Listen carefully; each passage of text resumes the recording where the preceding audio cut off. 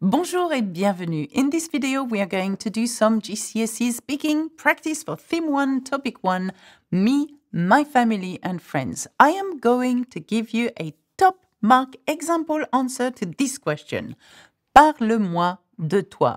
Tell me about you or talk about yourself. So let's see how we get on.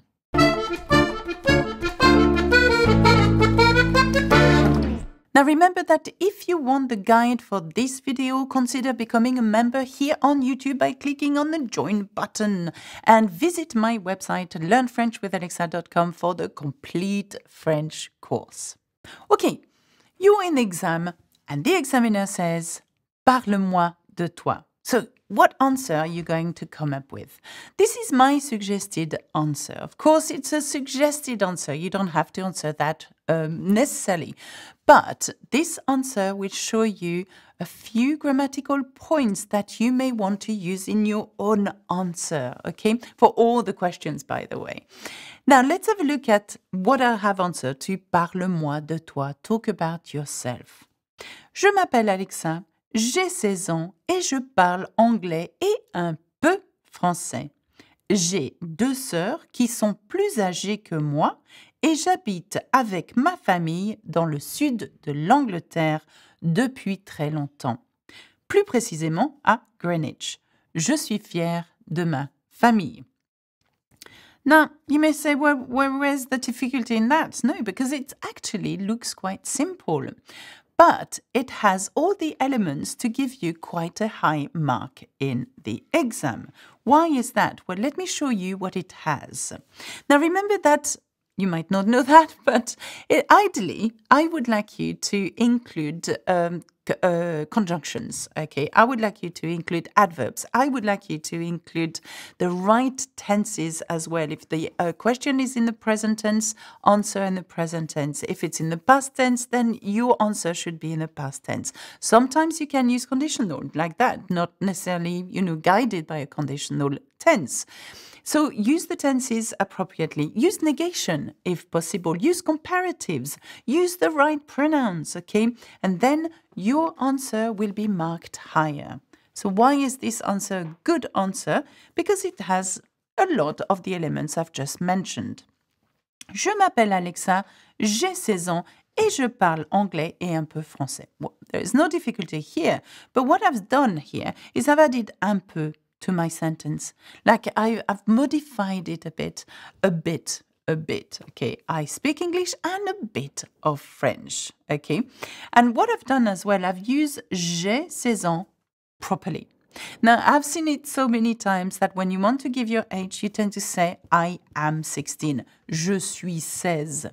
Doesn't work. It really doesn't work in French. Remember that to give your age, use avoir in the present tense. And that means that you must know avoir, to have, être, to be, in the present tense by heart. So j'ai, tu as, il a, elle a, on a, nous avons, vous avez, ils ont. Je suis, tu es, il est, elle est, on est, euh, nous sommes, vous êtes, ils sont, elles sont. That should be learnt by heart. It's really important. That will help you conjugate in the past as well. They are known as auxiliary verbs, by the way. So the beginning of this answer is quite okay, but it's not perfect. So go on and develop your answer. J'ai deux sœurs qui sont plus âgées que moi. Now, the difficulty, I can see two difficulties here. The fact that I'm using a relative pronoun qui, okay, that of who or, or, or which. I have two sisters that are, who are, Okay, and here is another difficulty.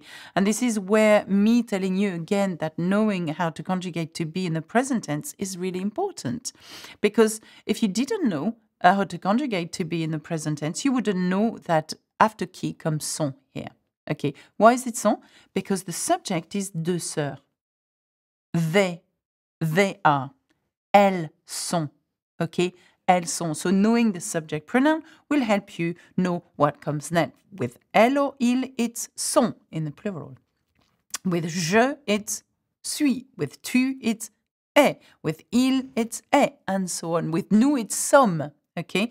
Very important, once again, that you know your auxiliary verbs by heart in the present tense, ideally in the imparfait too, ideally in the future tense too, but hey. Now, j'ai deux sœurs qui sont plus âgées que moi. So I have used plus que. That makes me sound clever. Why? Because it's a comparative. I'm comparing my sisters to me, moi. Okay. And the comparative is quite easy to use. You know, put plus and then the adjective and then que. And here you've got a comparative. You're comparing two things uh, next to each other together. Okay. Je suis plus petite que toi. I am smaller than you. Je suis plus grande que toi. And so on. Here, plus âgé means older, more aged than. Okay. Now, my sisters are older than me. Et j'habite and I live against present tense. There's nothing difficult about the tenses in this answer.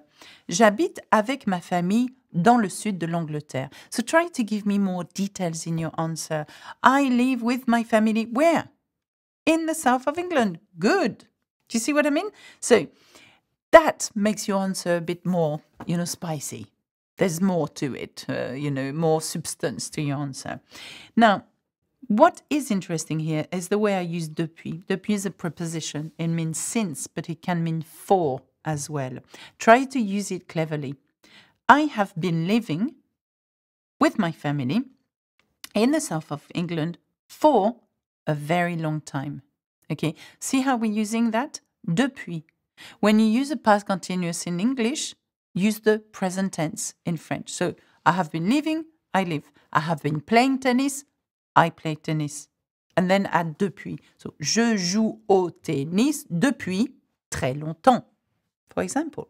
Okay, that adds to the difficulty of the uh, answer. Okay, depuis très longtemps. Well, I like the fact that I have très here. Use très intensifiers. You know, très trop. They're very good uh, to to to to make your your answer a bit more um, more more of a alive, I would say. I'm not sure whether it's the right thing, but you, you see what I mean, okay? And then I'm adding more clever things, plus précisément, more precisely.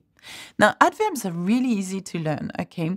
Especially the adverbs of uh, manners, okay? So, um, I mean, I've got the whole video on how to to build an adverb of manners, but they're very easy to do in that uh, you use the adjective rapide, for example, and then you add ment to it, rapidement, rapidly. You see? Fort, fort is strong. Use the feminine of fort is forte, and then add ment, fortement. Okay? Précise, précisément. Okay? So try to learn how to put those adverbs together, and that will go a long way, I'm sure. So, I live in the south, more precisely in Greenwich. Ah, Greenwich. Remember, A for a town, en for a country. Unless it's a masculine country, it's O. And to finish, je suis fière de ma famille. I am proud of my family.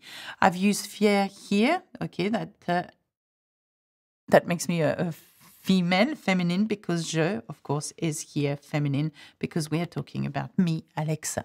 Okay, but of course, if you were a boy, you would say fier. Okay, that's another thing in your answers and in your writing as well. Okay, and you might spot it in the reading as well and hear it as well. So it's for all abilities here, all papers of the exam.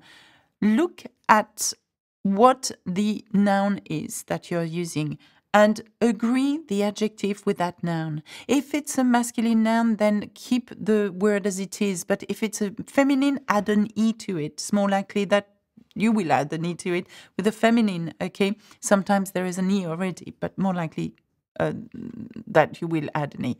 If it is masculine plural, keep the word as it is, add an S. If it's feminine plural, add an E and an S. Okay. And you've got to take that in consideration. It's really tough, actually. It's really tough. But anyway, that what will bring you more points, even in the writing. You know, uh, the examiner is going to read your writing and say, well, okay, he's even making sure here that he's agreeing the adjective to the noun. So that's bonus point. Okay, so that's it on my answer. Of course, it's a suggested answer. I'm not saying that this is the answer that you will have to give to the exam, but um, try to use those little um, difficulties here. Okay, use your connective, use your negatives, use your com- comparatives, use the right tense, use the right adverbs, use the right prepositions, use pronouns, and so on. Okay? That's it for me. Quite jolly, jolly happy with that one. Au revoir, à bientôt. Bisous, bisous, salut.